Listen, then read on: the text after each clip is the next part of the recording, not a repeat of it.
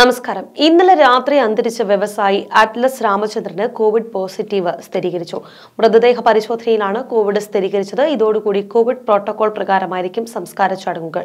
ഇക്കാര്യം അദ്ദേഹത്തിന്റെ മകൾ മഞ്ജു രാമചന്ദ്രനാണ് അറിയിച്ചത്. സംസ്കാരം ഇന്ന് വൈകിട്ട് നാലിന് ദുബായ് ജബൽ അലി ശ്മശാനത്തിൽ നടക്കും. കോവിഡ് സ്ഥിരീകരിച്ചതുകൊണ്ട് തന്നെ അറ്റ്ലസ് രാമചന്ദ്രന് അന്തിമോപചാരം അർപ്പിക്കാനുള്ള അവസരവും പ്രവാസികൾക്ക് നഷ്ടമാകും. സ്വപ്നങ്ങൾ ബാക്കിയാക്കി അറ്റ്ലസ് രാമചന്ദ്രൻ മടങ്ങുമ്പോൾ പ്രവാസ ലോകത്തിനും അത് തീരാ നഷ്ടം തന്നെയാണ്. വയറിലെ മുഴയുമായി ബന്ധപ്പെട്ട ചികിത്സയ്ക്കായിട്ടാണ് അറ്റ്ലസ് രാമചന്ദ്രനെ മൂന്ന് ദിവസം മുൻപ് ദുബായ് മൻഖൂൽ ആസ്റ്റ് ആശുപത്രിയിൽ പ്രവേശിപ്പിച്ചത്. എന്നാൽ ഞായറാഴ്ച രാത്രി ഉണ്ടായ ഹൃദയാഘാതമാണ് മരണത്തിലേക്ക് നയിച്ചത് യു എ സമയം രാത്രി പതിനൊന്ന് മണിയോടുകൂടിയായിരുന്നു അന്ത്യം. വർഷങ്ങളായി കുടുംബത്തോടൊപ്പം ദുബായിലായിരുന്നു താമസം.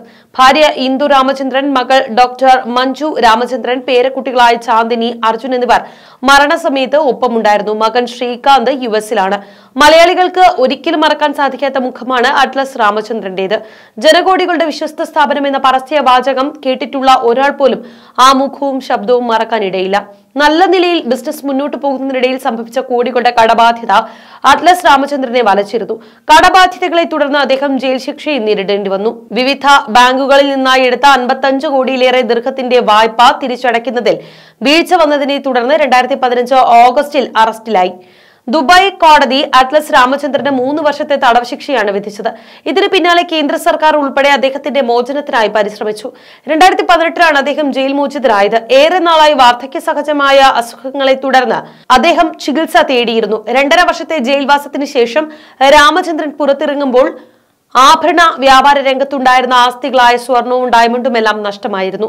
ചെക്ക് കേസിൽ രാമചന്ദ്രൻ ജയിലിലാകുമ്പോൾ അറ്റ്ലസ് ഗ്രൂപ്പിന് ലോകത്തിന്റെ വിവിധ ഭാഗങ്ങളിലായി അൻപതോളം ജ്വല്ലറികളാണ് ഉണ്ടായിരുന്നത്. താൻ വിശ്വസിച്ച് കൂടെ കൊണ്ടു നടന്നിരുന്ന ആളുകൾ പോലും തന്റെ പതനത്തിന് കാരണക്കാരായി എന്ന് മനസ്സിലാക്കിയിട്ട് രാമചന്ദ്രൻ അവർക്കെതിരെ നിയമ നടപടി സ്വീകരിച്ചില്ല. തന്റെ തകർച്ചയ്ക്കും പിന്നിൽ പ്രവർത്തിച്ചത് ആരൊക്കെയാണ് എന്ന് രാമചന്ദ്രൻ വെളിപ്പെടുത്താൻ പോലും തയ്യാറായില്ല. അറ്റ്ലസ് വീണ്ടും പ്രവർത്തനം ആരംഭിക്കുമ്പോൾ അതൊക്കെ തുറന്നു പറയാമെന്നായിരുന്നു അദ്ദേഹം പറഞ്ഞിരുന്നത്. എന്നാൽ താൻ ജയിലിലായിരുന്നപ്പോൾ ചതിച്ച മാനേജർമാരെ കുറിച്ച് ഒരു അഭിമുഖത്തിൽ അദ്ദേഹം പറഞ്ഞിരുന്നു. രണ്ടായിരത്തി പതിനഞ്ചിൽ അറസ്റ്റിലായ രാമചന്ദ്രൻ അപ്പീൽ കോടതിയിൽ നിന്നും അനുകൂല വിധി സമ്പാദിച്ചിരുന്നു. തുടർന്നാണ് പുറത്തിറങ്ങിയത്. എന്നാൽ ഏകദേശം മൂന്ന് വർഷത്തോളം സമയമെടുത്തു. അപ്പോഴേക്കും രാമചന്ദ്രൻ കഷ്ടപ്പെട്ട് നേടിയതൊക്കെ നഷ്ടമായി. ആഭരണ വ്യാപാര രംഗത്തെ ആസ്തികളായ സ്വർണവും ഡയമണ്ടും ഒന്നും ശേഷിച്ചിരുന്നതുമില്ല. ജയിലിൽ പോയ ഉടമ ഉടൻ തിരികെ വരില്ലെന്ന് മനസ്സിലാക്കിയ മാനേജർമാർ തോന്നിയതുപോലെയാണ് കാര്യങ്ങൾ ചെയ്തത് എന്ന് അദ്ദേഹം പറയുന്നു. ഒരു മാനേജർ തീർത്ഥാടനത്തിന് നാട്ടിൽ പോകാൻ ഭാര്യയോട് അവധി ചോദിച്ചു. ഒരാഴ്ചത്തേക്ക് നാട്ടിൽ പോയ അദ്ദേഹം പിന്നീട് ഒരിക്കലും മടങ്ങി വന്നില്ല. രാജ്യം വിട്ട മാനേജർമാരെ ബന്ധപ്പെടാൻ ശ്രമിച്ചുവെങ്കിലും അതിന് കഴിഞ്ഞതുമില്ല. അവർ ഫോൺ കട്ട് ചെയ്തു. ആരെയാണ് നാം വിശ്വസിക്കുക എന്നാണ് അദ്ദേഹം ചോദിച്ചിരുന്നത്. പോലീസിൽ പരാതി നൽകാതിരുന്നത് എന്തുകൊണ്ടാണ് എന്നും അദ്ദേഹം വിശദീകരിച്ചിരുന്നു.